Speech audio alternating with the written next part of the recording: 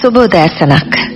මහ රහතුන් වැඩිමග ඔස්සේ ධර්මය පැහැදිලි කරන පූජ්‍ය රාජකිරියේ අරියඥාන ස්වාමින්ද්‍රයාණන් වහන්සේ සිරස FM පන්සිල් මළුව වෙනුවෙන් ලබා දුන් තවත් දුර්ලභ දහම් සාකච්ඡාවක් ශ්‍රවණය කරන්නට සූදානම් වන ලෙස මා ඔබ සියලුම දෙනාට ඇරයුම් කරනවා. මේ පින් වැඩෙන පින් වඩන වස්සාන සමය. ගරු ස්වාමින් වහන්ස කටින වස්ත්‍රයක් පූජා කිරීම හා සාමාන්‍ය චීවර සියයක් පූජා කිරීම මෙන්න මේ අවස්ථා දෙක දහමට අනුව අපට පහදා දෙන්න ස්වාමින් වහන්සේ මෙහෙමයි දැන් ඔබතුමිය ප්‍රශ්නයක් යොමු කරන්නේ කටින වස්ත්‍රයක් පූජා කිරීමත් ඒ වගේම යම් පින්වතෙක් චීවර 100ක් පූජා කිරීමත් කියන කාරණේ වගේ දෙයක් එක හා සමාන ආනිසංසද කියන කාරණේ. ඒක නෝනා බුදුරයන් වහන්සේගේ ධර්මයට අදාළව අහසයි පොළොවගේ වෙනස් දෙයක්. මොකද කටින චීවරය කියන්නේ එකක් අටමහා කුසලයක් බවට පත් වෙන එකක්. නමුත් චීවර පූජාව කොතනකවත් අටමහා කුසලයක් කියලා බුදුරයන් වහන්සේ දේශනා කරන්නේ නැහැ. ඒතර කටින වස්ත්‍රයක් පූජා කරද්දී නෝනා මුලින් ස්වාමින් වහන්සේලා වස් ආරාධනා කරලා ස්වාමින් වහන්සේලා වස් අදිෂ්ඨානය කරලා ඒ අදිෂ්ඨානය කළා වූ වස් වලට අදාළව තුන් මාසයක් ගත කරලා අතිරේක සිල්පදයන් ස්වාමින් වහන්සේලා ආරක්ෂා කරලා ඒ වගේ මේ අතිරේක සිල්පදයන් නිසාම ස්වාමින් වහන්සේලාගේ සීලේ ශක්තිය, සමාධියේ ශක්තිය, ප්‍රඥාවේ ශක්තිය ශක්තිමත් කරලා ආර්ය අෂ්ටාංගික මාර්ගයේ ශක්තිමත් කරන කාලෙක දෙන්නා වූ චීවරයක් තමයි නෝනා කටින චීවරයේ කටින වස්ත්‍රය කියලා කියන්නේ. ඒ නිසා කටින වස්ත්‍රයක් කියන කාරණේ තියෙනා වූ කුසලයක් සාමාන්‍ය චීවර පූජාවන් කොච්චර කළත් ලැබෙනා වූ ආනිසංසයත් නොන අහසයි පොළොවයි වගේ වෙනස් දෙයක්. මොකද කටින වස්ත්‍රය අපි පූජා කරන මොහොතේ ස්වාමින් වහන්සේලාගේ සීලේ ශක්තියත් වැඩි. ඒ වගේම තුන් මාසයක් පුරාවට නොනා ගිහි පින්වතුන්ලා පින්කම් සිද්ධ කරලා ඒ පින්කම් නිසාම තමන්ගේ සීලේ ශක්තිය, සමාධියේ ශක්තිය, දානේ ශක්තිය, සද්ධාවේ ශක්තිය, මෛත්‍රියේ ශක්තිය වර්ධනය කරගෙන තමයි කටින වස්ත්‍රයක් පූජා කිරීම කරන්නේ. ඒ නිසා නෝනා කටින වස්ත්‍රයක් කියන කාරණය හැම වෙලාවෙම සාමාන්‍ය චීවර 1000ක් 10000ක් පූජා කළාටත් වඩා කටින වස්ත්‍රයෙන් ලැබෙනා වූ ආනිසංස වැඩි කියලා බුදුරජාණන් වහන්සේ දේශනා කරනවා. නමුත් කොච්චර ආනිසංස වැඩි වුණත් නෝනා අපි කටින වස්ත්‍රයක් පූජා කරන්නේ සිල්පද දුර්වල කරගෙන. ඒ වගේම අපි කටින වස්ත්‍රයක් පූජා කරන්නේ අකුසල් මූලයන් වඩමින් නම් නෝනා ඒවෙන් තියෙන ආනිසංස පක්ෂේ නම් දුර්වලයි. ඒක හොඳට තේරුම් ගන්න. මොකද වර්තමාන සමාජයේ හුඟා පින්කම් සිද්ධ වෙන්නේ සීලෙන් දුර්වලභාවයට පත් වෙලා. කුසල් මූලයන්ගෙන් දුර්වලභාවයට පත් වෙලා. ඒතර බුදුරජාණන් වහන්සේ දේශනා කරනවා මේ සම්මා සම්බුද්ධ ශාසනයේ පුද්ගලයන් තුන් දෙනෙක් ඉන්නවා කියලා. පළවෙනි පුද්ගලයා තමයි නෝනා අදක්ෂයා කියලා කියන්නේ. ඒ අදක්ෂයා මොකද කරන්නේ? එයා පින්කම් සිද්ධ කරනවා සුන්දර විචිත්‍ර පින්කම් සිද්ධ කරගන්නවා. ඒ සුන්දර විචිත්‍ර පින්කම් සිද්ධ කරන්නේ සීලෙන් දුර්වලභාවයට පත් වෙලා. අකුසල් මූලයන් වඩමින් තමයි යා පින්කම් කරන්නේ. මිච්ඡා ආජීවයෙන් සොයාගත් මුදලින් තමයි යා පින්කම් කරන්නේ. කර්මය කර්මඵල විශ්වාසයෙන් තොරව තමයි එයා පින්කම් කරන්නේ. එයා පින්කම් කළත් ලක්ෂ ගණන් වියදම් කළා පින්කම් කරනවා ඒ පින විපාක දෙන්නේ සතර අපායේ උපත් තුලින් කියලා බුදුරජාණන් වහන්සේ දේශනා කරනවා. ඒතර කොහොමද ඒක වෙන්නේ? එයා සම්මා සම්බුද්ධ ශාසනයේ ජීවත් වෙන අදක්ෂයා නෝනා. එයා පින්කම් කරලා දුගතියට වැටෙනවා. දැන් ශාස්ත්‍රීක දිව්‍යතලවල තුසිතේ යාමේ නිම්මාන රතිය වගේ දිව්‍යතලවල නෝනා දෙවියන් දිව්‍යාංගනාවන් වගේම දිව්‍ය තිරිසන් සතුන් ඉන්නවා. දැන් මේ මනුස්ස ලෝකයේ ආශ්‍රිතව ජීවත් වෙන තිරිසන් සතුන් ඉන්නවනේ. ඒක වගේ දිව්‍යතල ආශ්‍රිතවත් තිරිසන් සතුන් ඉන්නවා. දිව්‍ය ඇතුන්, දිව්‍ය අජානීය අස්වැයින්, දිව්‍ය හාවුන්, දිව්‍ය මුවන්, දිව්‍ය පක්ෂීන් සූත්‍රගත ධර්මයේ අප්‍රමාණ මේවා සඳහන් වෙනවා. එතකොට මේ දිව්‍ය තිරිසන් සතුන් කියන්නේ කවුද නෝනා? පෙර ජීවිතේ සිල්පද දුර්වල කරගෙන පින්කම් කළා වූ අයගේ ඊළඟ උපත. දිව්‍ය තලවල ඒ දිව්‍ය තිරිසන් සතුන් ආයුෂයෙන් වර්ණයෙන් සැපයෙන් බලයෙන් ඉහළයි. මනුස්ස ලෝකයේ තිරිසන් සත්තු වගේ නෙමෙයි. දිව්‍ය තලයක දිව්‍ය ඇතෙක් පහළ වෙද්දී ඒගොල්ලන්ට මේ නලල්පට රත්තරණින් වැටිලා මේ දල්වලට කොපු වැටිලා එහෙම සුන්දරව ඒගොල්ලෝ පහළ වෙන්නේ නෝනා. දෙවියෙක් පහළ වෙනවා වගේ. මොකද ආයුෂයේ වර්ණයේ සැපේ බල ඉහළයි. ඇයි පෙර ජීවිතේ පින්කම් කළා. විචිත්‍ර සුන්දර පින්කම් කළා. නමුත් සීලේ දුර්වලයි. කුසල් මූලයන්ගෙන් දුර්වලයි. මිච්ඡා ආජීවයෙන් සොයාගත් මුදල. මොකද වර්තමාන සමාජයේ අප්‍රමාණ මිච්ඡා ආජීවයෙන් සොයාගත් මුදලින් පින්කම් සිද්ධ වෙනවා. ඒ වගේම කර්මය කර්මඵල විශ්වාසයක් නැහැ. දන් දුන්නොත් මොනවද ලැබෙන්නේ කියලා ඒගොල්ලෝ දන්නේ නැහැ. සිල් රැක්කොත් මොනවද ලැබෙන්නේ කියලා ඒගොල්ලෝ දන්නේ නැහැ. මෛත්‍රී වැඩුවොත් මොකද්ද ලැබෙන්නේ කියලා දෙන්නේ නැහැ. බත් පූජා කළොත් මොකද්ද ලැබෙන්නේ? සුන්දර ප්‍රණීත දෙයක් පූජා කළොත් මොකද්ද ලැබෙන්නේ කියලා ඒගොල්ලෝ දන්නේ නැහැ. ඒ නිසාමන්න දිව්‍ය තලයේ දිව්‍ය තිරිසන් සතෙක් වෙලා ඉපදෙනවා. ඒ වගේම මේ මනුස්ස ලෝකයේ ආශ්‍රිතවත් නොවනා දැන් අලුත් තිරිසන් සත්ත්ව සංස්කෘතියක් පැතිරෙනවා. මිල අධික තිරිසන් සත්ත්ව සංස්කෘතිය නෝන. ඒ මිලාදික තිරිසන් සංස්කෘතියේ බල්ලෙක්ගේ වටිනාකම 50000යි පරවියේ ගිරවෙක්ගේ මාළුවෙක්ගේ වටිනාකම ලක්ෂයකට වැඩි අලිපැටියෙක් එහෙම නැත්නම් අස්සපැටියෙක් ලක්ෂ 25කට වැඩි නෝන මොකක්ද මේ මිල අධික තිරිසන් සත්ත්ව සංස්කෘතිය කියන්නේ? නෝන මේ මිල අධික තිරිසන් සත්ත්ව සංස්කෘතිය කියන්නේ පෙර ජීවිතේ සුන්දර විචිත්‍ර පින්කම් කළා නෝන නමුත් සීලෙන් දුර්වලභාවයට පත් වෙලයි සිද්ධ කළේ අකුසල් මූලයන් වඩමිනුයි සිද්ධ කළේ මිච්ඡා ජීවෙන් සොයාගත් මුදලිනුයි පින්කම් කළේ සීලය දුර්වල නිසා දෙවියෙක් දිව්‍යාංගනාවක් කියන තැනට යන්න බෑ නෝන. මිනිස්සෙක් කියන තැනට යන්න බෑ. අන්න මනුස්ස ලෝකේ සුන්දර මිලාදික තිරිසන් සතෙක් වෙලා ඉපදෙනවා. ඒ ඉපදුනාට පස්සේ ආ සුන්දර ගෙදරක ලස්සන කූඩුවක තමයි ජීවත් වෙන්නේ. මිනිස්සෙක් නොකන්නා වූ ආහාරය ගන්නවා. සුකෝපභෝගී වාහනවල ගමන් කරනවා. නෝනගේ ඔඩොක්කුවේ තමයි නිතරම ඉන්නේ. ඇයි? පෙර ජීවිතේ පින ශක්තිමත්. දැන් ගෙදර මෙහෙකාර දරුවෙක් ඉන්නවා. ඒ මෙහෙකාර දරුවාට කවදාකවත් නෝනා ළඟට යන්න බැහැ. නමුත් නෝනා අර බල්ලා නෝනාගේ ඔඩොක්කුවේ තමයි නිදාගන්නේ. එහෙනම් අර මෙහෙකාර දරුවාට වඩා මේ බල්ලාගේ වර්ණය සැපේ බලය වැඩි. ඇයි වැඩි උනේ? පෙර ජීවිතේ සුන්දර පින්කම් කළා. නමුත් අර මෙහෙකාර දරුවා පෙර ජීවිතේ සිල්පද පහ රැක්කත් සුන්දර පින්කම් කළේ නැහැ. පින්කම් කළේ නැහැ. ඒ නිසා වර්ණය සැපේ බලය දුර්වලයි. නමුත් මිනිස්සෙක් වුණා. නමුත් මේ සුන්දර බල්ලා මොකද කළේ? පෙර ජීවිතේ සිල්පද රැක්කේ නැහැ. නමුත් විචිත්‍රෝ පින්කම් කළා. අන්න පින විපාක දෙනවා. අන්න නෝනා එයා තමයි මේ සම්මා සම්බුද්ධ ශාසනයේ අදක්ෂයා කියලා බුදුරජාණන් වහන්සේ දේශනා කළේ. ගරු ස්වාමීන් වහන්ස සම්මා සම්බුද්ධ ශාසනයේ අදක්ෂයා පිළිබඳව ඔබ වහන්සේ අපට පැහැදිලි කළා. එතකොට මේ සම්මා සම්බුද්ධ ශාසනයේ දක්ෂයෙකුත් ඉන්නව නෝනා. ඒ දක්ෂයා මොකද කරන්නේ?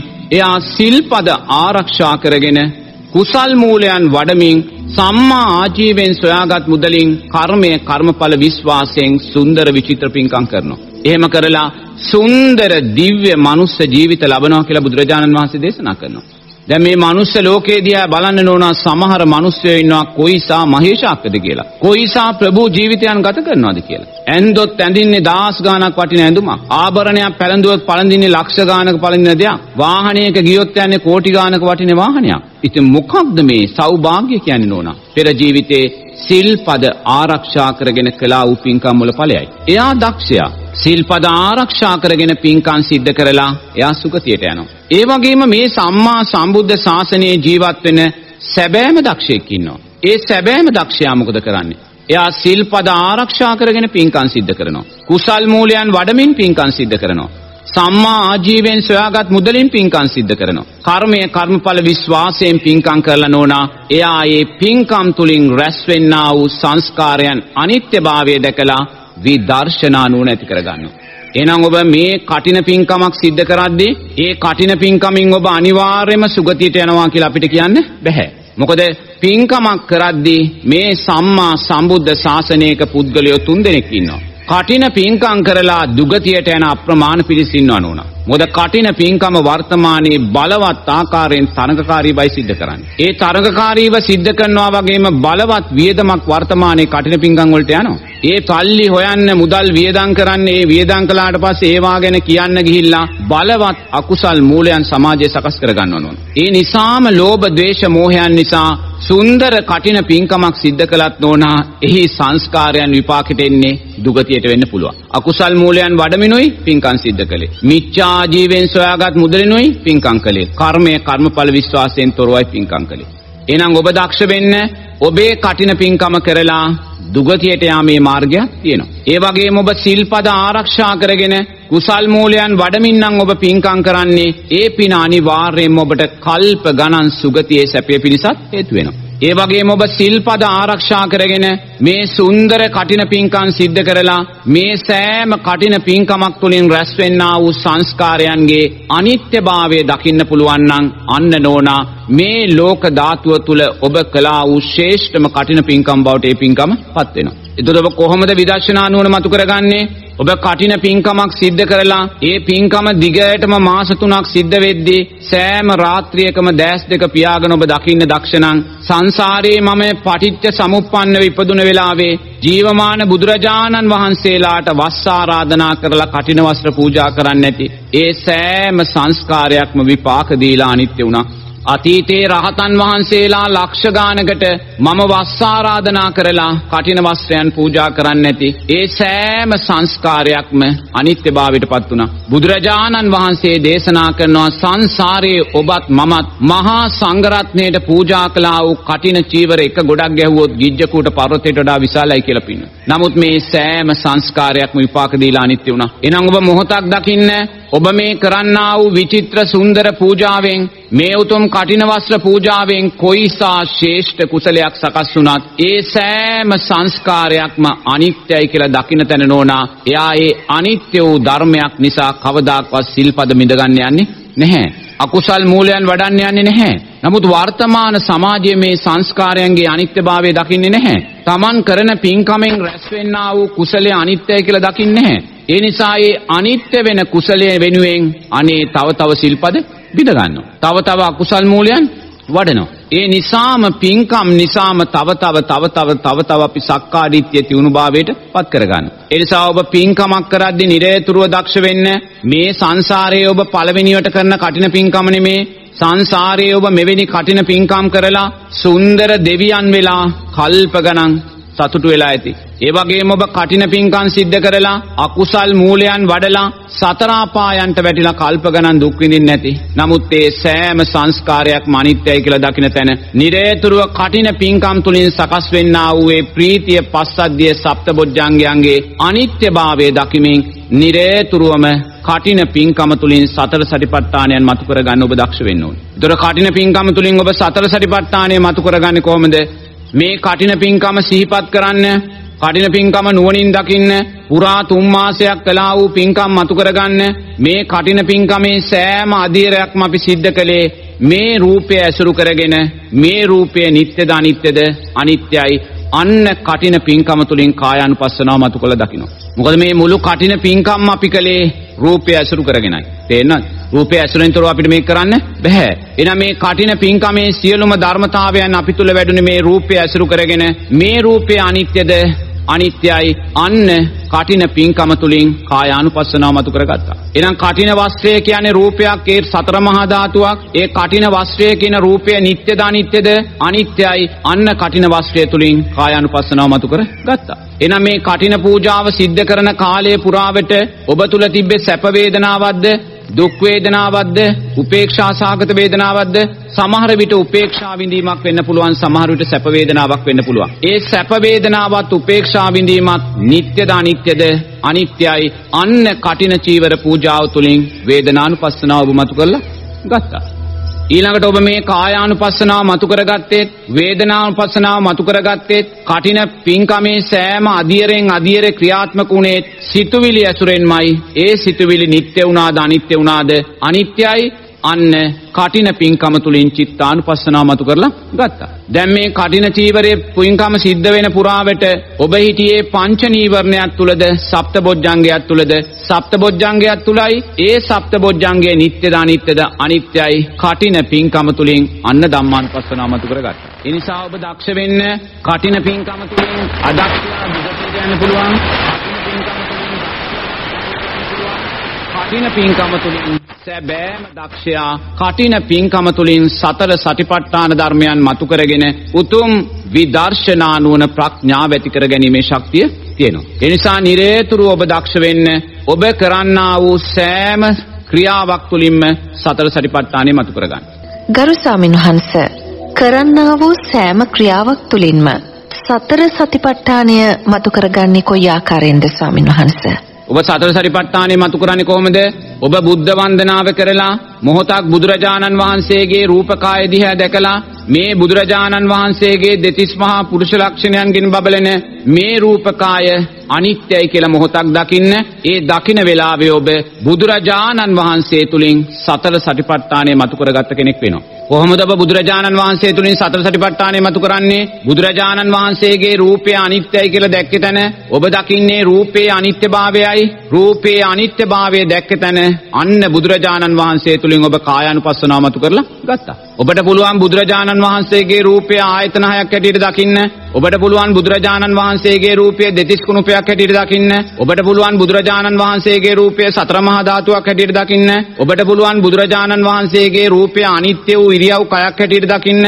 ඔබට පුළුවන් බුදුරජාණන් වහන්සේගේ රූපය අට්ටික සංඥාවක් මරණානුස්සතියක් හැටියට දකින්න පින්වත්නි. ඒ දැක්කේ තැන අන්න බුදුරජාණන් වහන්සේ තුලින් කායානුපස්සනාව මතු කරගත්. ඒතර ඔබේ කායානුපස්සනාව මතු කරගන්න මොහොතේ බුදුරජාණන් වහන්සේගේ රූපය අනිත්‍යයි කියලා දකින මොහොතේ ඔබ ඉන්නේ සැප වේදනාවකද දුක් වේදනාවකද උපේක්ෂා විඳීමකද උපේක්ෂා සහගත වේදනාවක? ඒ උපේක්ෂා සහගත වේදනාව නිට්ටයද අනිත්‍යද? අනිත්‍යයි. බුදුරජාණන් වහන්සේ තුලින් ඔන්න සුන්දර වේදනානුපස්සනාව මතු කරලා ගත්තා. ඊළඟට ඔබ බුදුරජාණන් වහන්සේ අනිත්‍යයි කියලා දකින තැන කායානුපස්සනාව වේදනානුපස්සනාව වැඩුණේ සිතුවිලි ඇසුරෙන්මයි. ඒ සිතුවිලි නිට්ටයද අනිත්‍යද?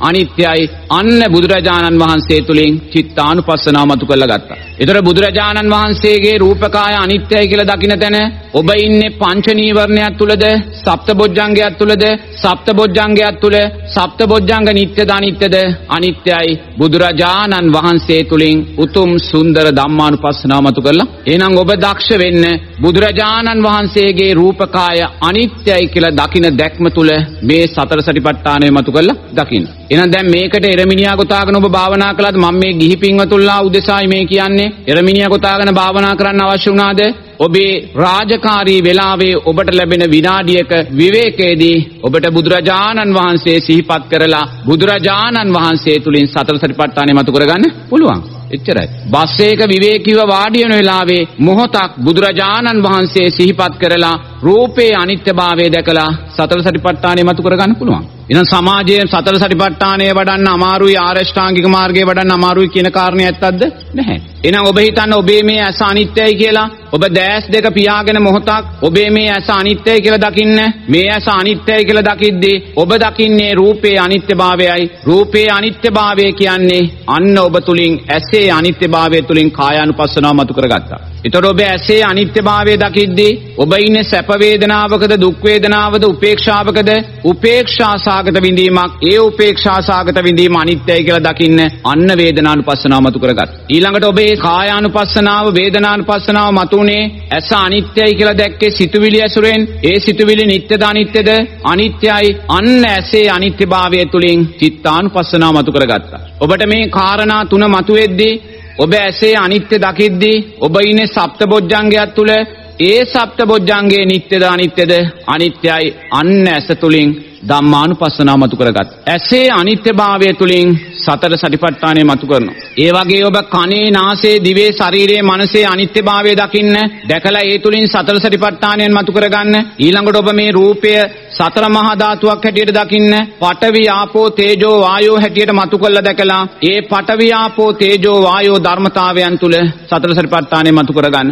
දෙතිස් කුණුපයක් හැටියට මේක මතු කරගන්න. ඒ වගේ නිරේතුරුව නෝනා මේ ඇස අනිත්‍යයි කියලාද්දී ඒ චිත්තය තුලින් සතර සටිපට්ඨානය මතු කරගන්න පුළුවන්. ඒ වගේම ඔබ නිරේතුරුව දක්ෂ වෙන්න ඔබ හිතන්න ඔබට කේන්තියක් එනවා කියලා කේන්තියක් ආවොත් මොකද කරන්නේ? දැන් මොකද වර්තමාන සමාජයේ බලවත් ආකාරයෙන් සම්මා සංකප්පයන් දුර්වල වෙනවා. සම්මා සංකප්ප කියන්නේ අව්‍යාපාද සංකප්පය. සෑම වෙලාවකම පංච උපාදානස්කන්ධය කෙරෙහි තෘෂ්ණාව නිසා, මමත්වයේ දැඩිභාවය නිසා බලවත් ආකාරයෙන් සමාජයේ පුංචි දෙයටත් කේන්ති ගන්නවා. කේන්ති අරගෙන ප්‍රතිචාර දක්වලා බලවත් විනාශයන් කරා යනවා. ඒ නිසා මොනම හේතුවක් නිසාවත් කේන්තියේ ආස්වාදයට යට වෙන්න එපා. සමාජයේ කේන්තිය ආස්වාදයට යට වෙන්නේ කුමක් නිසාද? ආදීනවය නොදන්නා නිසාමයි. ආදීනවය නොදන්නා නිසාමයි. ඒ නිසා කේන්ති යනවා කියලා කෙනෙකුට දොස් කියලා වැඩක් නැහැ. මොකද සෝවාන් ඵලයට පත් වුණ කෙනාටත් කේන්ති යනවා. නමුත් ඒ කේන්තිය අපායগামী කේන්තිය නෙමෙයි. අපායগামী කේන්තියක් නෙමේ සෝවාන් ඵලයට පත් වුණ කෙනා තුලත් කාමරාග පටිගයන් තියෙනවා. එයාටත් කේන්තිය සකස් වෙනවා. එයා කේන්තිය සකස් වෙන මොහොතේම ආදීනවේ දකිමින් පංච උපාදානස්කන්ධය අනිත්‍යභාවය මතු කළ දකින්න. මොකද එයා ආදීනවේ දැක්ක කෙනෙක්. ඒ නිසා නිරේතුරුව ඔබට කේන්ති යනවා නම් ඔබ මුලින්ම මොකද්ද කරන්න ඕනේ? ආදීනවේ මතු කළ දකින්න. මොකද්ද කේන්ති ආදීනවේ කියන්නේ? ඔබ කේන්තිය පුහුණු කරන කෙනෙක් නම් අනිවාර්යෙන්ම ඊළඟ ජීවිතයේ ඔබ යකෙක් යක්ෂණියක් වෙලා උප්පත්තිය ලබන්න පුළුවන්. යකෙක්ගේ යක්ෂණියෙක්ගේ තියෙනා වූ රුදුරු ස්වභාවය නුවණින් දකින්න.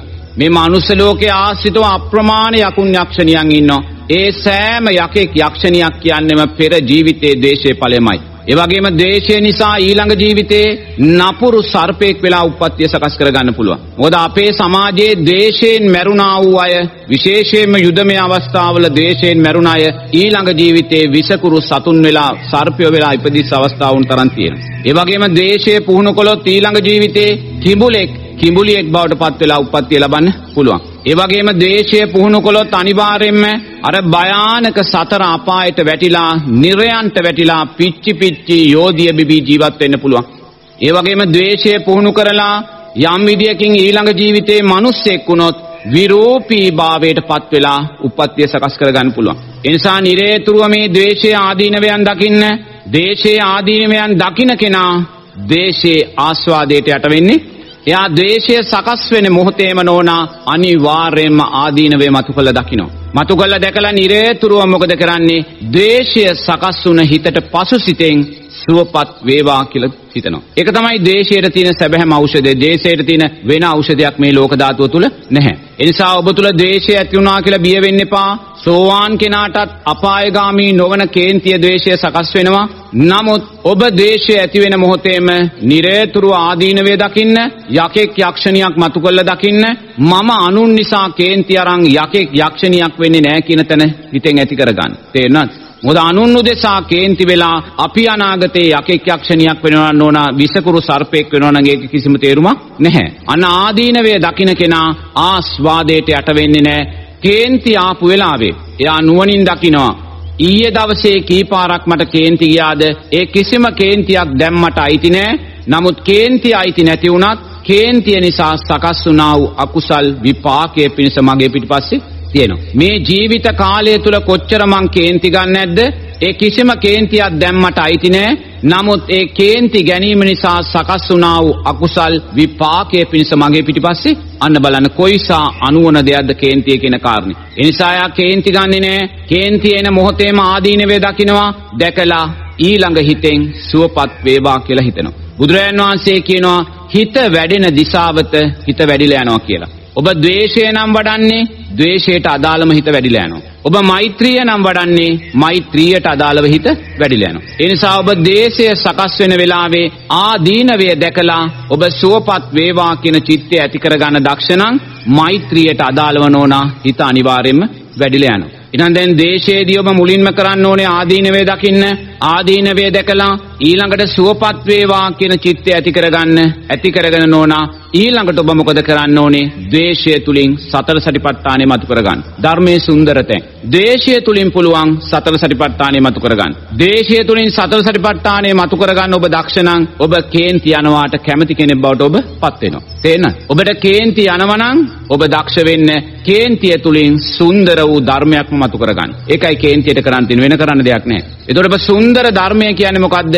මේ උතුම් සතර සටිපට්ඨාන ධර්මයන් කේන්තිය තුලින් සකස් කරගන්න. ඒතර කේන්ති ආවට පස්සේ මුලින්ම ආදීනවේ දැක්කා සූපත් වේවා කියලා හිතුවා. ඊළඟට යා මොහොතක් දැස් දෙක පියාගෙන දකිනවා. කේන්තිය සකස් වුනේ රූපය ඇසුරෙන් රූපය නිට්ටයද අනිත්‍යද අනිත්‍යයි. අන්න කේන්තිය තුලින් කායානුපස්සනාව මතු කරගත්තා. කේන්තිය සකස් වුනේ රූපය ඇසුරෙන්. එහෙම නැත්නම් කේන්තියට අරමුණුනේ තවත් බාහිර රූපයක්. මේ රූපය නිට්ටයද අනිත්‍යද?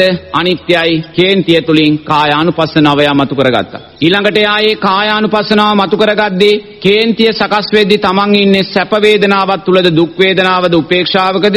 දුක් වේදනාවක් තුල ඒ දුක් වේදනාව නිට්ටයද අනිත්‍යද? අනිත්‍යයි. අන්න කේන්තිය තුලින් වේදනානුපස්සනාව යමතු කරගත්තා. ඊළඟට යා කේන්තිය සකස් වුනේ කායානුපස්සනාව වැඩුණේත් වේදනානුපස්සනාව වැඩුණේත් සිතුවිලි ඇසුරෙන් ඒ සිතුවිලි නිට්ටයද අනිත්‍යද? අනිත්‍යයි. අන්න කේන්තිය තුලින් චිත්තානුපස්සනාව යමතු කරගත්තා.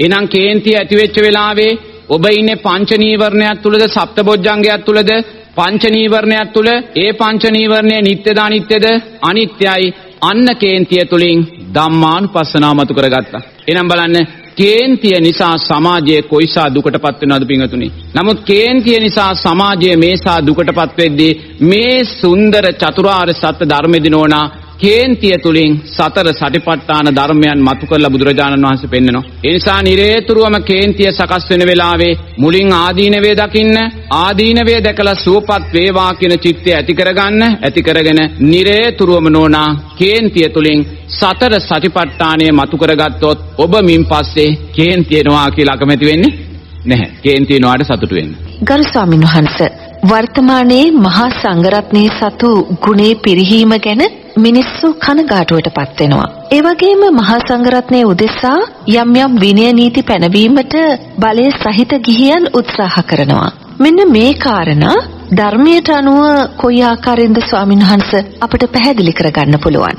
මෙහෙමයි නෝනා. එතනදී ඉතින් අපි හේතුඵල ධර්මයන්ට අදාළව ලෝකේ දකින්න ඕනේ. මීට අවුරුදු 2600කට ඉස්සෙල්ලා බුදුරජාණන් වහන්සේ ජීවමානව වැඩ සිටිය කාලේ ඒ උතුම් ආර්ය ගුණයන්ගෙන් යුක්ත රහතන් වහන්සේලා අනාගාමී උත්තමයෝ සෝවාන් සකෘදාගාමී උත්තමයෝ ශාසනය තුල අප්‍රමාණව වැඩ හිටියා. මහා සංඝරත්නයේ හැටියට. එතකොට ඒවා ක්‍රමානුකූලයෙන් දුර්වල වෙලා දුර්වල නොවන ඊට පස්සේ මිහිඳු මහෝත්තමයාණන් වහන්සේ ඇසුරෙහි අපේ රටේ දහස් ගණන් දසදහස් ගණන් උතුම් අධිගමලාභී ගෞරවනීය ස්වාමීන් වහන්සේලා බිහි වුණා. ඒවා හේතුඵල ධර්මයන්. එතකොට මේ හේතුඵල ධර්මයන් ගලාගෙන ඇවිල්ලා නොවන අපි ඉන්නේ දැන් අවුරුදු 2600ක් බුදුරජාණන් වහන්සේ පිරිනිවන් පාලා මිහිඳු මහරහතන් වහන්සේ පිරිනිවන් පාලා නොවන අවුරුදු 2000 ගාණක් පහුවෙලා තමයි අද අපි ජීවත් වෙන්නේ. එතකොට මේ අවුරුදු 2000 ගාණක් පහුවෙච්ච තැනදී නෝනා අපි බුදුරජාණන් වහන්සේගේ කාලේ මිහිඳු මහෝත්තමයාණන් වහන්සේගේ කාලේ ගෞරවනීය ස්වාමින් වහන්සේලා සතුව තිබූ ගුණාත්මක භාවයන් වර්තමානයේ ඒහා සමානව බලාපොරොත්තු වෙනවා නම් ඒක මෝහයටයි ඇටෙන්නේ.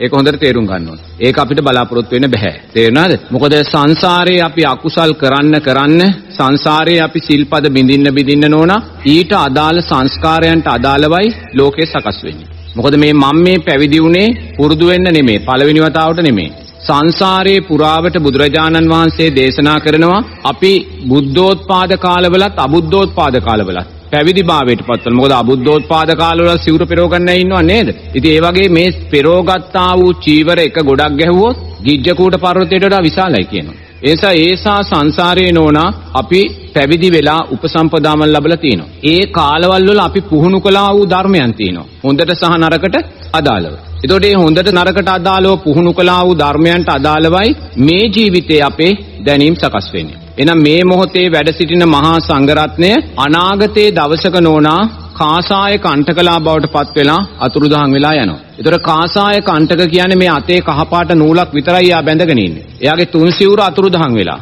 ඒ කියන්නේ තනිපොට සිවුරයි දෙපොට සිවුරයි අඳනයයි පාත්‍රයයි මේ සියල්ලම අතුරුදහන්. මොකද ඒවා අතුරුදහන් වෙන්නේ කාගේවත් වරදක්ද? කාගේවත් වරදක් නෙමෙයි. ඒ කියන්නේ තුන් සිවුර දරන්න පින තියෙන කෙනෙක් ලෝකේ පහළ වෙලා ලෝකේ නැහැ එදාට. තුන් සිවුර දරන්න පින තියෙන කෙනෙක් ලෝකේ නැහැ. තුන් සිවුර දරාගෙන ඉන්නවා දකින සංඝයා දකින්න පින තියෙන ගිහි කෙනෙකුත් ලෝකේ නැහැ. නමුත් මීට අවුරුදු 2600කට ඉස්සෙල්ලා ලෝකයාට දෙවියන්ට බ්‍රහ්මයින්ට පින තිබ්බා අර තුන් සිවුර දරාගෙන ඉන්න උතුම් රහතන් වහන්සේලා දකින්න. නමුත් එර්දියෙන් යන රහතන් වහන්සේලා දකින්න එදා ආයට පින් තිබ්බා. නමුත් අද අපිට එර්දියෙන් යන රහතන් වහන්සේලා දකින්න පින නැහැ. ඒක රහතන් වහන්සේලාගේ වරදක් නෙමෙයි. මොකද ඊට අදාළ සංස්කාරයන් තියෙන රහතන් වහන්සේලා බිහි වෙන්න තරම් සංස්කාර ශක්තිය කාටවත් නැහැ. ඒ වගේම එර්දියෙන් යන රහතන් වහන්සේ කෙනෙක් දකින්න තරම් පින තියෙන අය මනුස්ස ලෝකයේ තුල නැහැ. ඒ නිසා ඒවා අතුරුදහන් වෙලා යනවා. නමුත් මේ මොහොතේ පින්වතුල්ලාට මේ තුන් සිවුර පාත්‍රයේ දරාගත්ත කහපාට සිවුර දුමුරු පාට සිවුර දරාගත්ත ගෞරවනීය ස්වාමින් වහන්සේලා පන්සලේ ආරණ්‍යයේ කුටියේ ඉන්නවා දකින්න පින තියෙනවා. ඒ ඔබලාගේ පිනක් ඒක. ඔබලා මේ සංඝයාට උපස්ථානය කරන්නේ මේ සංඝයාට සිව්පසය දෙන්නේ සංඝයා තුලින් සතුටු වෙන්නේ ඔබ සතු පිනක් ඒක. ඒතර අපිට මේ තුන් සිවුර අතුරුදහන් නොවි මේ ජීවමානව තියෙන්නේ ඒක අපේ පිනක්. මොකද ඒක දාන්න අපිට පින තියෙනවා. නමුත් නෝනා මේ පින අතුරුදහන් වෙලා ගිහිල්ලා කාසාය කණ්ඨකලාගේ කාලෙ වෙනකොට තුන් සිවුර ලෝකෙන් අතුරුදහන්. ඇයි? තුන් සිවුර දරන්න සුදුසු කෙනෙක් පින තියෙන කෙනෙක් ලෝකේ නැහැ. එහෙම දරපු ස්වාමීන් වහන්සේ කෙනෙක් දකින්න පින තියෙන කෙනෙක් ලෝකේ නැහැ. එතකොට ඒ දේ කාසාය කණ්ඨකේ වරදක්ද? කාසාය කණ්ඨකේ වරදක් නෙමෙයි.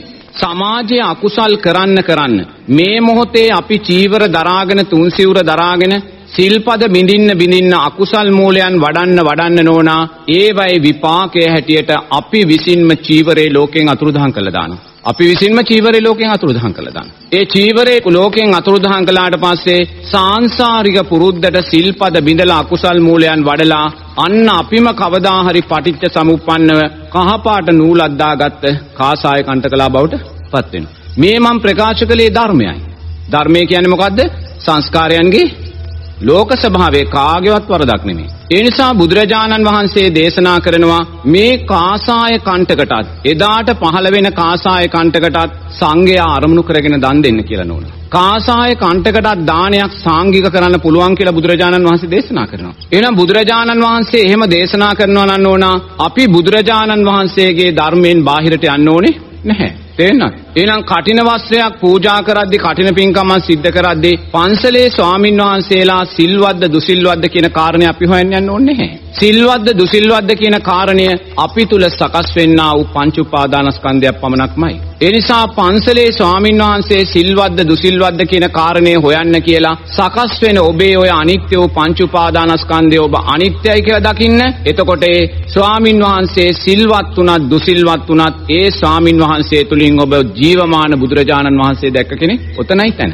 ජීවමාන බුදුරජාණන් වහන්සේ දැක්ක කෙනෙක් වෙනවා. ජීවමාන සාරිපුත්ත මහරහතන් වහන්සේ දැක්ක කෙනෙක් වෙනවා. ජීවමාන සංඝයා දැක්ක කෙනෙක් වෙනවා. එහෙනම් නෝනා ඔතෙන්ටයි අපි යන්න ඕනේ. බුදුරජාණන් වහන්සේ කොතනකවත් ගිහි පින්වතුන්ලාට ස්වාමින් වහන්සේලාගේ සීලය නැත්තම් විනය ගැන හොයන්න කියලා කොතනකවත් බුදුරජාණන් වහන්සේ දේශනා කළා නැහැ. ඒක ගිහි පින්වතුන්ලාට අදාළ නැහැ. සංඝ සමාජයේ කොච්චර දුර්වලභාවයටපත් වුණත් සංඝ සමාජයට විනය පනවන්න නීති පනවන්න කිසිම ගිහි කෙනෙකුට අයිතියක් නැහැ නෝන. බුදුරජාණන් වහන්සේ ඒක පවර්ලා නැහැ.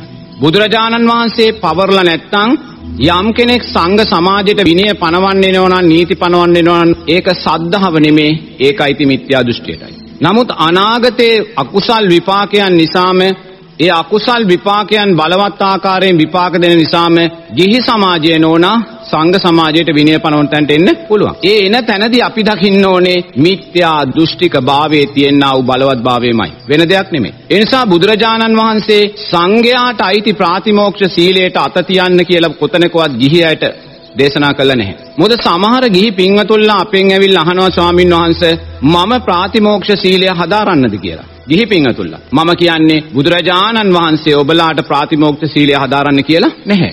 ඒක සංඝයාට අයිති දෙයක්. ඔබලා සූත්‍රගත ධර්මය හදාරන්න. අභිධර්මය කැමති කෙනෙක් හදාරන්න. නමුත් විනය හදාරන්න කියලා බුදුරජාණන් වහන්සේ ගිහි පින්වතුන්ලාට කියලා නැහැ. නමුත් මම දන්නවා විනය හදාරපු ගිහි පින්වතුන්ලා කීප දෙනෙක් ගැන පෞද්ගලිකවම. ඒගොල්ලෝ ඒ බුදුරජාණන් වහන්සේගේ කීමෙන් බැහැරට ගිහිල්ලා ඒගොල්ලෝ ප්‍රාතිමෝක්ෂය හදාරනවා. ඒ හදාරන සෑම කෙනෙක්ම නෝනා සංඝයා කෙරෙහි බලවත් ද්වේෂයකනු ඉන්නේ. සංඝයා කෙරෙහි බලවත් ද්වේෂයකනු ඉන්නේ. හැම වෙලාවම සංඝයා දිහා වපරහෙන් බලන්නේ. සංඝයා යමක් කළොත් මේක වැරදි කියන තැන ඉන්නවා. ඇයි? එයා විනය දැනගත්තා. දැන් මේ විනය දැනගත්තෙන් එයාට යහපතක්ද අයහපතක්ද? යහපතක්ද අයහපතක්ද? අයහපතක්. ඇයි අයහපතක් වෙන්නේ? විනය කාරණා වලට අදාළව ස්වාමින් වහන්සේලා මනින්න ගිහිල්ලා හැම වෙලාවම අකුසල්මයි කරගන්නේ. තේරෙනවද? ඒකයි බුදුරජාණන් වහන්සේ කියන්නේ විනය අයිති සංඝයාට. ඒක ප්‍රාතිමෝක්ෂය. සංඝයාතින් වැරද්දක් වෙනවා නම් ඒක ගෞරවනීය නායක ස්වාමීන් වහන්සේලා විසඳාවි. ගෞරවනීය නායක ස්වාමීන් වහන්සේලා ඒක විසඳන්නේ නැත්නම් ඒකත් හේතුඵල ධර්මයක්. තේරෙනවද? ඒ කියන්නේ සංඝ සමාජයේ තව තව දුර්වල වෙන සකස් වෙන්නා වූ හේතුඵල ධර්මයක්. ඒවා අපිට ඒවා සංස්කාර අපිට ඒවා වළක්වන්න බෑ. ඒ නිසා නිරේතුරුවම විනය කියන කාරණේයිති සංඝයාට උපසම්පදා භික්ෂුවකට මම නම් කියන්නේ ගිහි පින්වතුන්ලාට විනය කාරණා හදාරන්න යන්න එපා කියලා. හදාරන්න ගියොත් ඔබ විනය කියන කාරණය දකිනවා දකින මොහොතේ නිරේතුරුවම පුංචි වැරද්දක් ස්වාමින් වහන්සේලාගෙන් දැක්කත් ඔබලා බරපතල සැකසහිතෙන් ඇති කරගෙන සංඝයා කෙරෙහි ද්වේෂය වෛරය ඇති කරගන්න. ඒ නිසා සංඝ සමාජයේ නෝනා දවසින් දවස දියුණු වෙනවා කියන කාරණය වර්ධනය ගුණාත්මකව ශක්තිමත් වෙනවා කියන කාරණය අපිට දකින්න බැහැ. මොකද බුදුරජාණන් වහන්සේ ජීවමානව වැඩ සිටිය සංඝ සමාජය අවුරුදු 500ක් යනකොට මුළු දඹදිවෙන් අතුරුදහන් වෙලා ගියා නෝන. එහෙනම් මේ මොහොතේ සංඝ සමාජයේ තියෙන තැන අපි ඊටමත් සතුටෙන් පිළිගන්න ඕනේ. අපි බොහොම ගෞරවනීය තැනක ඉන්නවා මොකෝ අපේ පින කුසලයේ තාම ශක්තිමත්. නමුත් සංඝ සමාජයේ පින කුසලයේ ශක්තිමත් තැන්දි නෝනා අපි සංඝ සමාජයේ වැරදි හොයන්න ගියොත් ඒ වැරදි විසින් අපි නැවත නැවත නැවත නැවත සංඝ සමාජයේ නෙමේ මුළු සමාජයේම දුර්වල කරන තැනට අපි මේක අරගෙන යනවා. ඒ නිසා බුදුරජාණන් වහන්සේ කිව්ව තැන ඉන්න. බුදුරජාණන් වහන්සේ කියන්නේ මොකද්ද? ඔබ ස්වාමින් වහන්සේලාගේ සීලය හොයන්න යන්න ඕනේ? නැහැ. ස්වාමින් වහන්සේලා ඒක ගැන සොයාවි. තේරෙනවද? උන්වහන්සේලා සිල්පද දුර්වල කරගන්නවා නම් ඇයි අපි ඒවා නිර්වදි කරන්නේ නැහැ? විපාකයේ තියෙනවා. විපාකයේ මේ ලෝකයේ තුල ජූරියක් තියෙනවා. ඒ ජූරියායිමත් කවුරුත් තීන්දුව දෙන්නේ නැහැ. මනුස්ස ලෝකේ අපි පක්ෂග්‍රාහීව සල්ලි වලට තීන්දුව తీරන දුන්නත් ගත්තත් මේ ධර්මයේ තුල ධර්මයේ තුල ක්‍රියාත්මක වෙන ජූරිය නෝනා කවදාහක්වත් පක්ෂග්‍රාහීව තීන්දුව ගන්නේ නැහැ. මොකද ජූරිය තමා තුලයි සකස් වෙන්නේ. තමා තුල සකස් වෙන ජූරි සභිකයන් පස් දෙනෙක් ඉන්නවා කියලා බුදුරජාණන් වහන්සේ දේශනා කරනවා. ඒ ජූරි සභිකයන් පස් දෙනා තමයි පස්ස වේදනා සංඥා සංකාර විඥාන කියන ජූරි සභිකයෝ පස් දෙනා. මේ පස් දෙනා එක පේලියේ කොයි වෙලාවකවත් වාඩි වෙලා නැහැ. එක පුටුවයි තියෙන්නේ එක්කෙනෙක් එකපාරයි වාඩි වෙන්නේ. පස්සේ කියන ජූරි සභිකයා වාඩි වෙනවා. එයා නැකිට්ටට පස්සේ වේදනාව කියන ජූරි සභිකයා වාඩි වෙනවා. වේදනාව කියන ජූරි සභිකයා වාඩුණා නැකිට්ටා සංඥාව කියන ජූරි සභිකයා වාඩි වෙනවා. සංඥා ජූරි සභිකයා නැගිටිද්දී අන්න සංස්කාර කියන ජූරි සභිකයා වාඩි වෙනවා. සංස්කාර කියන ජූරි සභිකයා තමයි නෝනා තීන්දුව ප්‍රකාශ කරන්නේ. එනිසා අපි කොයිසා සුන්දර ජීවිත ගත කළත්, කොයිසා සීලෙන් ශක්තිමත් ජීවිත ගත කළත්, කොයිසා සීලෙන් දුර්වල ජීවිත ගත කළත් අවසාන තීන්දුව දෙන සංස්කාර කියන ජූරි සභිකයා සකස් වෙන්නේ තමාගේ පංච උපාදානස්කන්ධය තුලමයි. ඒක තේරුම් ගන්න ඕනේ. තමාගේ පංච උපාදානස්කන්ධය තුල. එහෙනම් ලෝකයා රැවටුවා කියලා ලෝකයාට බොරු කළා කියලා ලෝකයාට අපි වැරදි විදියට ලෝකයා තුල පෙන්නවා කියලා වැරදි චිත්‍රයක් ලෝකයාට පෙන්නවා කියලා නෝනා කවදාක්වත් ලෝකයා රැවටෙන්නේ නැහැ. ලෝකයා తాවකාලිකව රැවටේ. නමුත් ජූරිය තමා තුලයි අවසාන තීන්දුව සංස්කාර කියන ජූරි සභිකයා දෙද්දී විඥානය කියන ජූරි සභිකයා අන්න සුන්දර තීන්දුව ක්‍රියාත්මක කරනවා. කොහොමද ක්‍රියාත්මක කරන්නේ? මේ ජීවිතයේ සීලය ශක්තිමත් නම් සුන්දර දිව්‍ය මනුස්ස තලයක සුන්දර දෙවියෙක් මිනිසෙක් වෙලා අන්න විඥානය එතන බැස ගන්නවා. දුස්සීලභාවයට අදාළ නම් සංස්කාර සකස් වුණේ අවසාන චුත්සිතේදී ජූරියේදී අන්න සතර අපායේ මහා ගිනි ජාලාවක් මැද උප්පත්තිය එහෙනම් නෝනා අපි ලෝකේ නිවැරදි කරන්න යන්න ඕනේ නැහැ. ඇයි අපි ලෝකේ නිවැරදි කරන්නේ? අපිට ලෝකේ නිවැරදි කළ දඬුවම් කරන්න බෑ. ඔබ පන්සලේ ස්වාමීන් වහන්සේ වැරදි කියලා දැකලා ස්වාමීන් වහන්සේට දෙන්නා වූ සලාක දානය නොදීන්න පුළුවන්. ඒකනේ ඔබ දෙන දඬුවම නේද? ඔබ ස්වාමීන් වහන්සේ පන්සලේ වැරදි කරනවා කියලා ඔබ පන්සලේ ස්වාමීන් වහන්සේට දෙන්නා වූ සලාක දානි නවත්තන්න පුළුවන්. එතකොට ඒ සලාක දානි නැවැත්වීමෙන් මොකද වුනේ? සංඝයා අරමුණු කරගෙන ඔබ කරන්නා වූ කුසලය නැවතුණා. නමුත් ඔබ ඒක නැවැත්තුවා කියලා ස්වාමීන් වහන්සේට දඬුවම් කළා වෙනවද? නැහැ. ඉතින් අපි දඬුවම කියලා දකින්නේ නෝනා කොයිසා ප්‍රාථමික දෙයක්ද කියන කාරණය උතනින් වැටහෙන්නේ. ඒ කියන්නේ ඒසා ධර්මාබෝධයෙන් අපි දුර්වලයි. මොකද අපි දඬුවම කියලා දකින්නේ ওই වගේ පුංචි දෙයක් නේ. දැන් කොයිසා දඬුවම් වෙනුවෙන් විරෝධය පානා ඉන්නවද කියලා බලන්නකෝ. අර මානුෂීය සංවිධානයේ ඉන්නවා පොලිසියෙන් කෙනෙකුට ගැහුවොත් පෙළපාලි ගිහිල්ලා කඳුළු ගෑස් ගැහුවොත් මේ අය මේ හැම කෙනෙකුටම මානුෂීය වශයෙන් වද දුන්නා කියලා අප්‍රමාණ පැමිණිලි කරනවා නේ විභාගයන් කරනවා චෝදනා කරනවා නේ. නමුත් නෝනා මේ ලෝකේ සැබෑම මේ පංච උපාදානස්කන්ධය කියන ජූරිය වැරදි කරලා සංස්කාර විසින් තීන්දුව දෙද්දි නෝනා ඒ වැයි කල්ප ගණන් ගින්දරයට පිච්චෙන නිරිසතුන් ඉන්නවා. ඒ වාගේ දුක ගැන කතා කරන්න කෙනෙක් නැහැ. ඒ නිසා ලෝකයා වැරදි කළා කියලා ඔබ බිය වෙන්න එපා. ලෝකයා වැරදි කරන්න කරන්න ඔබ දකින්න ඕනේ ධර්මයේ තියෙනා වූ යථා ස්වභාවයමයි. ඒ නිසා ලෝකයා වැරදි කරද්දී ඔබ දඬුවම් කරන්න ගියොත් අනුන්ගේ වැරදි නිසා ඔබත් වැරද්දටපත් වෙච්ච ඔබත් දණ්ඩණයටපත් වෙච්ච කෙනෙක් බවටයිපත් වෙන්නේ. ඒ නිසා ස්වාමින් වහන්සේලාගේ වැරදි ඔබ හොයන්න යන්න එපා. ස්වාමින් වහන්සේලා සීලෙන් දුර්වල වුණොත් ජූරිය තමා තුලයි සංස්කාර කියන ජූරි සභිකයා සුන්දර තීන්දුවක් දෙයි විඥානයේ විසින් ඒක සතර අපායේ බරපතල දුක් සහිත තැනකට උපත්ය සකස් කරලා දෙවි. ඒ නිසා අනුන්ගේ වැරදි උදෙසා ඔබේ සංස්කාර දුර්වල කරගන්න යන අවශ්‍යතාවයක් නැහැ. ඇයි අපි දුර්වල කරගන්නේ? බුදුරජාණන් වහන්සේ කිව්ව තැනින් අපි බැහැරට යනවා. මොකද බුදුරජාණන් වහන්සේ කිව්වේ? බුදුරජාණන් වහන්සේ කිව්වේ කාසාය කණ්ඨකට වේවා දන් දෙන්න සාංගික වශයෙන් අරමුණු කරගෙන සාංගික කුසලයේ ඔබට ලැබේ. කාසාය කණ්ඨකට සාංගික දානයක් දෙන්න පුළුවන්. ඒ නිසා සමාජය තුල දුස්සීල භාවයක් වැඩෙනවා නම් ඒ දුස්සීල භාවය තුලින් ඔබ තව තව සංසාර බය ඇති කරගන්න.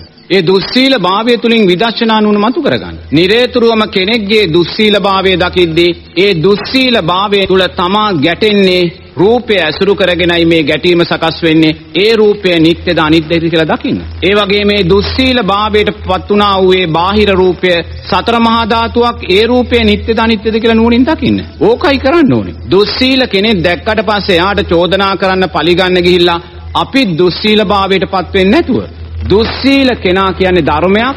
ඒ ධර්මයේ තුලින් ධර්මයක් ඔබ ජීවිතයට එකතු කරගන්න. නමුත් ඒක නෙමේ සමාජය කරන්නේ. ඒතකොට දුස්සීල කෙනා දකිද්දී නිරතුරුවම දුස්සීල කෙනා දැකලා ගැටෙන හිත සකස් වුනේ රූපය ඇසුරු කරගෙන ඒ රූපය නිත්‍යද අනිත්‍යද අනිත්‍යයි දුස්සීල කෙනා තුලින් කායානුපස්සනාව මතු කළා.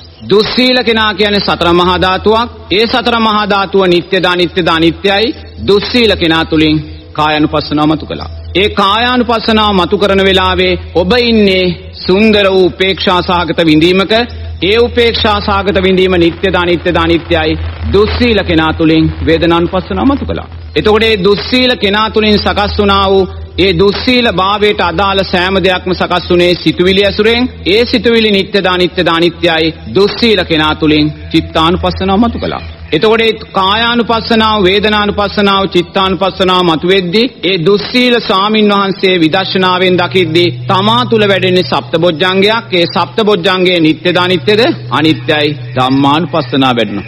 එනම් බලන්න සමාජය තුල දින දුස්සීලභාවය ඔබට සුන්දර කමඨහනක් බවට නමුත් ඔබ මේ සුන්දර කමඨහන් සියල්ල මග අරිනවා ඔබ මේ සුන්දර කමඨහන් සියල්ල මග හැරලා ඔබ ධර්මයේ සොයාගෙන අවබෝධය සොයාගෙන මාස ගණන් තැන් තැන් වල ගිහිල්ලා භාවනා ඇස් දෙක ඉදිරිපිට සුන්දර කමටහන් තියෙනවා. ඒ නිසා වෙලා තීන කෙනා කැමති කෙනා ගිහිල්ලා විවේකීව භාවනා කරන්න කිසි වරදක් නැහැ. නමුත් ගිහි ජීවිතය ගත කරන ඔබලාට දුස්සීලභාවයත් සිල්වත්භාවයත් දෙකම කමටහනක්මයි. එතෙන්ට අපි එන්න දක්ෂ වෙන්න ඕනේ. ඒ නිසා නිරේතුරුවම සීලය තුලිනුත් දුස්සීලභාවය තුලිනුත් ඔබ සතර සටිපට්ඨානයක් විදර්ශනාවක් මතු කරගන්න. දැන් ඔබ හිතන්න ඔබ පන්සිල් රකින්න කෙනෙක් කියලා. දැන් පන්සිල් සමාදන් වෙන කෙනෙක් පංචශීලය සමාදන් වෙලා ඒ සමාදන් වුණා වූ සීලය තුලින් සතර සටිපට්ඨානෙ මතු කරගන්න. ඒතර පංචශීලය සමාදන් වෙලා කොහොමද ඔබ සතර සටිපට්ඨානෙ මතු කරගන්නේ? ඔබ සමාදන් වුණා වූ සිල්පදය ආරක්ෂා කරගත්තේ මේ රූපය ඇසුරු කරගෙන ඒ රූපය නිත්‍යද අනිත්‍යද අනිත්‍යයි අන්න සීලය තුලින් කායානුපස්සනාව මතු කරගත්තා. එතකොට ඔබ සීලය ආරක්ෂා කරපු වෙලාවේ කායානුපස්සනාව දැක්ක වෙලාවේ ඔබ ඉන්නේ උපේක්ෂා සහගත විඳීමකම නැත්තම් සැප වේදනාවක ඒ සැප වේදනාව උපේක්ෂාව නිත්‍යද අනිත්‍යද අනිත්‍යයි අන්න සීලය තුලින් වේදනානුපස්සනාව මතු කරගත්තා. ඊළඟට මේ සීලේ සෑම ආනිසංශයක්ම තමා වැඩුණේ සිතුවිලි ඇසුරෙන් ඒ සිතුවිලි නිත්‍යද අනිත්‍යද අනිත්‍යයි අන්න සීලය තුලින් චිත්තානුපස්සනාව මතු කළා. එහෙනම් ඔබ සීලය තුල ඉන්න වෙලාවේ කායානුපස්සනාව, වේදනානුපස්සනාව, චිත්තානුපස්සනාව වැඩුණ වෙලාවේ ඔබ ඉන්නේ සප්තබොජ්ජංගයක් තුලයි. ඒ සප්තබොජ්ජංගේ නිත්‍යද අනිත්‍යද අනිත්‍යයි. අන්න සීලය තුලින් ධම්මානුපස්සනාව එන නොන මේ සෑම දෙයකින්ම උතුම් සතර සටිපට්ඨානයන් මතු කරගන්න අපිට පුළුවන්. එන ඔබ හිතන්න ඔබ හතින් සිල්පදයක් බිඳුණා කියලා. දැන් සිල්පදයක් බිඳිලා. දැන් ඔබ ගැටි ගැටි ඉන්නවා. මං අපායයිද සතර අපායට වැටෙයිද මොකක් වේද කියලා ඔන්න දැන් ගැටෙනවා. නමුත් මේ නිරේතුරුවම ඔබ දකින්න දැස් දෙක පියාගෙන මේ සිල්පදය බිඳුනේ රූපය ඇසුරු කරගෙන ඒ රූපය නිත්‍යද අනිත්‍යද අනිත්‍යයි බිඳුණු සිල්පදය තුලින් කායානුපස්සනාව මතු කරලා ගත්තා. එතකොට මේ සිල්පදය බිඳෙන මොහොතේ ඔබ ඉන්නේ දුක් වේදනාවකද සැප වේදනාවකද උපේක්ෂාවකද දුක් වේදනාවක් ඒ දුක් වේදනාව නිත්‍යද අනිත්‍යද අනිත්‍යයි අන්න බිඳුණු සිල්පදයේ විසින් වේදනානුපස්සනාව මතු කරලා ගත්තා. එහෙනම් සිල්පදයේ බිඳුන වෙලාවේ ඔබ තුල සකස් වුණ සෑම සිතුවිල්ලක්ම නිත්‍යද අනිත්‍යද අනිත්‍යයි අන්න බිඳුණු සිල්පදයේ තුලින් චිත්තානුපස්සනාව මතු කරගත්තා. සිල්පදයක් බිඳුන වෙලාවේ ඔබ ඉන්නේ පංච නීවරණයක් තුලයි පංච නීවරණේ නිත්‍යද අනිත්‍යද අනිත්‍යයි බිඳුණු සිල්පදය තුලින් අන්න ධම්මානුපස්සනාව මතු කරගත්තා. එහෙනම් මේ සෑම ධර්මතාවයක් හොඳ සහ නරක මේ දෙපැත්තෙම නෝනා සතර සටිපට්ඨානයන් මතු කරගන්න පුළුවන් නේද?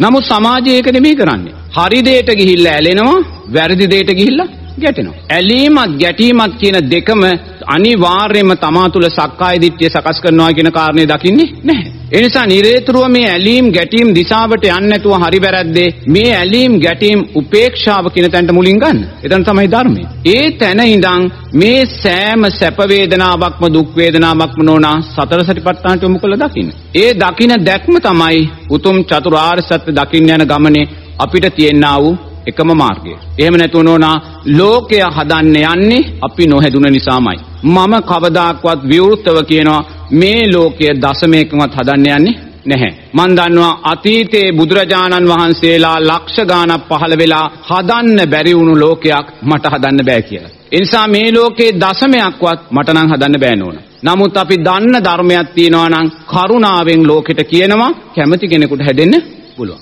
එතනයි තැන. ඒ තැන හිටියොත් තමයි නෝනා අපිට මේ මාර්ගයේ ඉස්සරහට යන්න පුළුවන්. ඉන් මෙහා අපි ලෝකය හදන්න ගිහිල්ලා අපි නොහැදිච්ච කෙනෙක් බවටත් අවසානයේදී අපිත් ලෝකයක් දෙකම නොහැදුන තැනටත් අපි අරන්. ඔතෙන්ට තමයි යන්නේ. ලෝකේ යන දිශාවකට යන්න දීලා ඔබ උඩුගම් බලා යන කෙනෙක් බවට පත් වෙන්න එතන තමයි ධර්මයේ ශක්තිය ඔබේ ජීවිතයට ලැබෙන්නේ. ගරු ස්වාමීන් වහන්ස එකම අකුසලය පුද්ගලයන් දෙදෙනෙකු අතින් සිදුවන විට එහි විපාක සකස් වෙන්නේ කොහොමද ස්වාමීන් වහන්ස? මෙහෙමයි නෝනා කෙනෙක් අතින් අකුසලයක් සිද්ධ වෙද්දී ඒ අකුසලයට විපාකයන් සකස් වෙද්දී නෝනා පුද්ගලයන් දෙදෙනෙක් එකම වැරැද්ද කළා කියලා අකුසලේ එක හා සමාන නැහැ. ඒක හොඳට තේරුම් ගන්න ඕනේ. පුද්ගලයන් දෙදෙනෙක් සිල්පද දෙකක් බිඳින්න පුළුවන්. දැන් අපි කියමු පන්සලකුත් තියෙනවා ආරණ්‍යකුත් තියෙනවා. හොඳද? දැන් පන්සලේ ස්වාමින් වහන්සේ 12න් පස්සේ ආහාර ගන්නවා. නමුත් පන්සලේ ස්වාමින් වහන්සේ 12න් පස්සේ ආහාර ගන්නවා කියලා ගමේ දායකයෝ ඔක්කොම දන්නවා. එයා ඒක හොරෙන් නෙමෙයි කරන්නේ. විවෘතව කරනවා. හංගන්න යන්නේ නැහැ. ගමේ දායක පිරිස් දන්නවා ඒ ස්වාමින් වහන්සේ රැයට මොනවා හරි ආහාරයට මොනවා හරි ටිකක් ගන්නවා කියලා. ඒක සොරකමක් හැටියට එයා කරන්නේ නමුත් තවත් ස්වාමින් වහන්සේ කෙනෙක් ඉන්නවා. උන්වහන්සේ 12න් පස්සේ ආහාර ගන්නවා. නමුත් උන්වහන්සේ ආහාර ගන්නවා කියලා කාටවත් හඟවන්නේ නැහැ. එහෙනම් නෝනා මෙතනදී දෙන්නාම එක වැරද්ද කළත් අර සංගවලා වැරද්ද කරන කෙනාගේ අකුසලයේ ඉතා බලවත්. ඒක තේරුම් ගන්න. සංගවලා අකුසලයේ කරන කෙනාගේ අකුසලයේ ගොඩක් බැලුවා. මොකද ඒක සොරකමට වඩා අනිවාර්යයෙන්ම බොරුවයි සොරකමයි සියල්ල මෙතන සිල්පද ගොඩක් බිඳිලා තියෙනවා. ඒ නිසා නිරේතුරුවම නෝනා එකම සිල්පදේ දෙන්නත් බින්දත් ඒ දෙන්නාගේ චේතනා මත අනිවාර්යයෙන්ම අකුසලයේ වෙනස්භාවයට පත් වෙනවා. ඒ නිසා බුදුරජාණන් වහන්සේ දේශනා කරන්නේ සංඝයාගේ ගුණයන් කියද්දි සුපටිපන්න ගුණය, උජුපටිපන්න ගුණය, ඥායපටිපන්න ගුණය, සාමීචිපටිපන්න ගුණයයි සංඝයාගේ ශ්‍රේෂ්ඨ ගුණයන් කියලා බුදුරජාණන් වහන්සේ දේශනා කරන්නේ. ඒතොර මේ ශ්‍රේෂ්ඨ ගුණයන් දැකලායි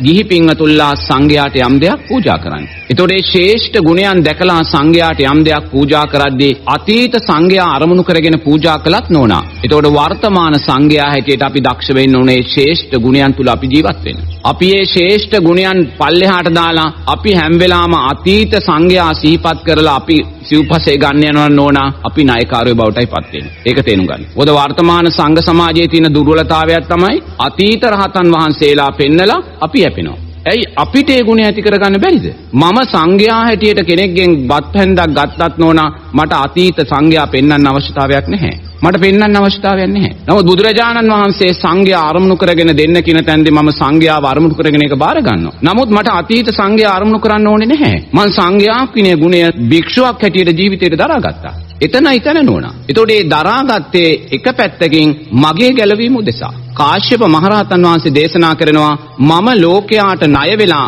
වැළඳුවේ දවස් 7යි කියලා.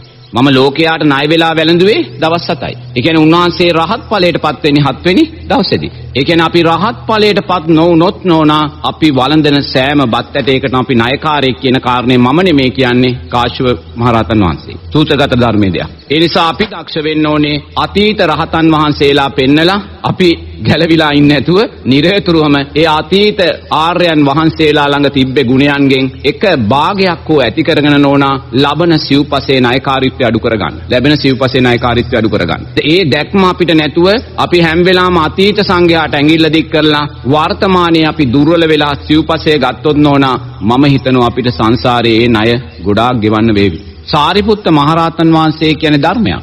මුගලන් මහරහතන් වහන්සේ කියන්නේ ධර්මයක්. ඇයි ධර්මයක් වෙන්නේ? මේ සියල්ලම සංස්කාරයන්ගේ ඵලයක්. එහෙනම් මේ මම භික්ෂුවක් හැටියට මාව දකිද්දී මා තුලින් ඔබ දකින්න ඕනේ ධර්මයක්. ධර්මයක් කියන්නේ ඇයි? මේ මගේ ජීවිතය කියන්නේ නෝනා සංස්කාරයන්ගේ ඵලයක්. මේ ලෝකේ මම ඔබව දකින්නේ ධර්මයක් හැටියට. තේන්න? මොකද ධර්මයක් කියන්නේ ඔබ සංස්කාරයන්ගේ ඵලයක්. වෙන දෙයක් නෙමෙයි. තේන්න? ඒ නිසා නිරේතුරුවම තමා තුලින් තමා ධර්මයක් හැටියට තමයි තමා දකින්න ඕනේ. මොකද මේ සංස්කාරයන්ගේ ඵලයක් තමයි මේ ජීවිතය කියලා කියන්න ඕනේ. තේරෙනවද? එහෙනම් ඕන ඒ සංස්කාරයන්ට අදාළවයි මම මේ මව් කුසට බැලගන්නේ. ඒතකොට එහෙනම් මේක මේ ජීවිතේ එක ෂණයෙන් ඇති වෙච්ච දෙයක් නෙමෙයි. තේන ඊට අදාළව සංසාරයේ භවයෙන් භවය භවයෙන් භවය පුහුණු කරමින් පුහුණු කරමින් පුහුණු කරමින් සීලය පුහුණු කරමින් දානය පුහුණු කරමින් ත්‍යාගය පුහුණු කරමින් මෛත්‍රිය පුහුණු කරමින් ආපු ගමනක්. ඒ ගමනේදී අනිවාර්යයෙන්ම මට මේ ජීවිතේ පැවිදිභාවයේ මුණ ගැහෙන්න ඕනේ. ඒ පැවිදිභාවයේ ශක්තිමත් කරන්නමයි මම අර පැවිද්ද කියන තැනට ගිහිල්ලා ආපසු හරවලා මාව ගෙදර අරින්නේ. එතනදුත් මං ධර්මයක් දකින්නේ. එදා මාව ගෙදර අරින්නේ ඇයි? ශක්තිමත් පැවිද්දක් කරා මාව සූදානම් කරන්න. එදා මං දැක්ක මා තුල තියෙන කාමරාග පටිගයන් මට භාවනාවෙන් නැති කරන්න බෑ කියලා. එදා මම දැක්කා. ඒ නිසයි මම කිව්වේ අත් විඳිමින් අත් දකිමින් අවබෝධය කරා ආවයි කියන වචනේ මම පාවිච්චි කළේ.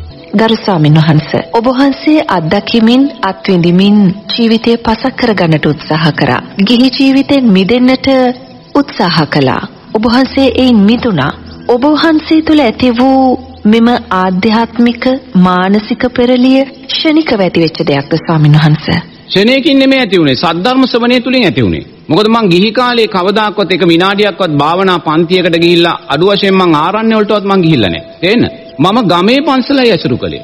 ගමේ ආරණ්‍ය තපෝවනයේ තමයි මං සිල් සමාදන් වෙන්නේ කියේ. එතනින් තමයි මම බේරුනේ එක පැත්තකින්. නමුත් මම වටේම කොහෙවත් දුවන්න ගියේ නැහැ. ඒ නිසා මම ගමේ පන්සල ඇසුරු කරගෙන ගමේ තිබ්බ ආරණ්‍ය ඇසුරු කරගෙන ගුවන් විදුලියෙන් රූපවාහිනියෙන් ධර්මදේශනා තුලින් සද්ධර්ම ශ්‍රවණයෙන් මම ධර්මයේ මතු කරගත්ත කෙනෙක්. මම ඒකට සාදු සාදු කියලා මේ වෙලාවෙත් පුණ්‍යානුමෝදනා කරන අතීතයේ වැඩ සිටියා වූ ඔය පානදුරේ අරියදම්ම ස්වාමීන් වහන්සේලා සෝම ස්වාමීන් වහන්සේලා රේණුකාණේ ස්වාමීන් ඔය හැම ස්වාමීන් වහන්සේගේ නමගේ සද්ධර්ම ශ්‍රවණය කරලා ඒ ශ්‍රවණය කළා වූ සද්ධර්මයේ නුවණින් මෙනෙහි කරලයි මම ධර්මයේ මතු කරගත්තේ. එහෙම නැතුව මට මතු කරගන්න කවුරුත් පාරක් පෙන්වුවේ නැහැ නෝනා. ඒ මතු කරගත්තේ ඇයි? මගේ සාංශාරික කුසල් ධර්මයක් නිසා. ඒතකොට මේ සාංශාරික දේ තමයි මට මේ ලැබෙන්නේ. දැන් මට මොකක් හෝ ජනප්‍රියභාවයක් තියෙනවා නෝනා දෙවියෙක් බ්‍රහ්මෙක් දුන්න දෙයක් නෙමෙයි. ඒ මගේ සීලේ ශක්තිය. ඒතර මම මේ ජීවිතේ සීලේ ශක්තිමත් උනේ ඇයි? සංසාරේ මං සීලේ ශක්තිමත් භාවයට පත් කරගෙන තියෙනවා. ඒතකොට ඒ සීලේ ශක්තිය විපාක දෙනකොට අන්න ජනප්‍රියභාවය කියන කාරණේ එනවා. එහෙම නැත්නම් මම මේ වංචාවෙන් බොරු කියලා ජනප්‍රියභාවයක් තියෙන මොකක් හෝ තියෙනව නම් ඕන එක මම භාෂාවෙන් බොරු කියලා ගත්තා වූ දෙයක් නෙමෙයි. ඒක ඉබේම ආවා වූ දෙයක්. තේරෙනවද? ඒතර මම යانے යانے යන යන තන මට සිව්පසය ලැබෙනවා නන්න ඕන. ඇයි ඒ සිව්පසය ලැබෙන්නේ? සංසාරේ මං දන් දීපු නිසා. වෙන දෙයක් නෙමෙයි. කන්නේ නැතුව මට තියෙන දේ මං දන් දීලා තිනවා. තේරෙනවද? එනිසා ඒ දුන්න දෙයයි මට පෙරලා මේ විපාකයන් හැටියට ලැබෙන්නේ. ඒ දෙන තැන මම ප්‍රනීත ප්‍රනීත දේ දීලා තිනවා. මං කතරගම යද්දි කවදාකවත් අර යාචක මහත්තයෙකුට රුපියල් 10ක් රුපියල් 20ක් දෙන්නේ නැහැ. මං හැම වෙලාවම රුපියල් 20 චොකලට් 20ක් 25ක් බෑග් එකේ දාගෙන තමයි යන්නේ. ගිහිල්ලා මං ඒගොල්ලන්ට දෙන්නේ චොකලට්. මොකද ඒ ප්‍රනීත දේ මට දීලා පුරුදුයි. ඒ නිසා නෝනා මට යන යන තැන ප්‍රනීත දේ ලැබෙනවා. ඒතර මං දුන්නේ දෙයයි මම ලැබෙන්නේ. ඇයි මම එහෙම දෙන්නේ? මම සංසාරයේ විදියට දීලා. එහෙනම් නෝනා මේ හේතුඵල ධර්මයන් මේ තියෙන වෙන දෙයක් නෙමෙයි.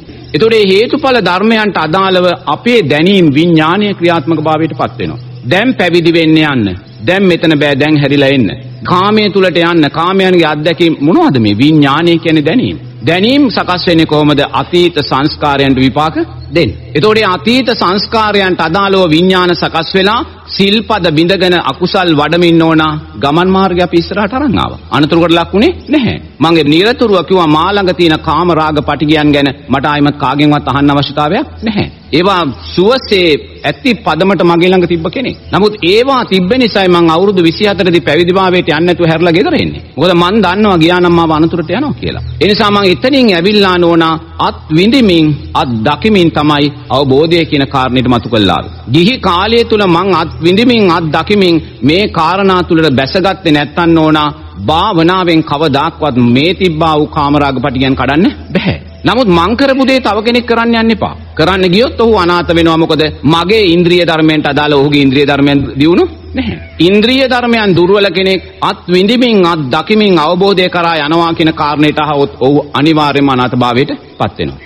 සමවන්න ස්වාමීන් වහන්සේ ඔබ වහන්සේ කාමභෝගී දේ වැඩි වැඩියෙන් අත්විඳේ එහි නිස්සාරත්වය වටහා ගන්නද? එහේ අත්විඳිමින් නිස්සාරභාවය වටහා ගැනීම මට තිබ්බේ. මොකද මන් දැනගත්තා මා තුල තියෙන කාමරාග පටිගයන්ගේ බලවත්භාවය නිසා නෝනා භාවනාවේ මේක කඩන්න බෑ කියලා. ඒක මං අර පැවිදි වෙන්න අවුරුදු 24 ගිහිල්ලායි දැනගත්තේ. ඒතර මම මට අවංක වුණා. මට ලෝකෙට අවංක වෙන්න අවශ්‍ය නැහැ. මං කවුද කියලා මං ඉපදුන ගමේ අය හොඳටම දන්නවා. මං සිල්පද බින්ද හැටි ඒ සියල්ලම ගමේ අය හොඳටම දන්නවා. ඒ කියන්නේ මට ගමට හෝ ලෝකයට අවංක වෙන්න අවශ්‍ය වුණේ මට අවශ්‍ය උනේ නෝනා මේකෙන් මිදෙන්න අවශ්‍ය ශක්තිය ජීවිතේට ගන්න. එතෙන්දී ලෝකයා කියන දේ මං අහන්න ගියේ නැහැ. ලෝකයාගෙන් චරිත සාතික ගන්න ගියා නම් නෝනා මං අද මුණුබුරු මිනිබිරු වෙන තාත්තා කෙනෙක්. ලෝකයාගේ චරිත සාතික ගන්න ගියා නම්. ඒ නිසා මේ මොහොතේත් නෝනා මං ලෝකයාගෙන් චරිත සාතික ගන්න යන්නේ නැහැ. මම බුදුරජාණන් වහන්සේ දීපු සුන්දර චරිත සාතිකයක් වෙනවා. ඒ චරිත සාතිකය මට හොඳටම ප්‍රමාණවත්.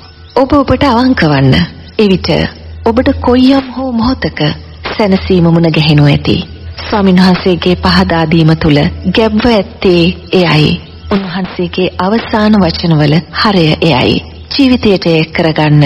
මේ ඉරිදාවේ මේ මොහොතේ ඔබේ ජීවිතය ධර්මයෙන් ශක්තිමත් කරගන්නට ඔබ උත්සාහ කරන්න. ඔබේ ඊළඟ මොහොතේ ඔබ සැනසීම අත්විඳිනු ඒකාන්තයි.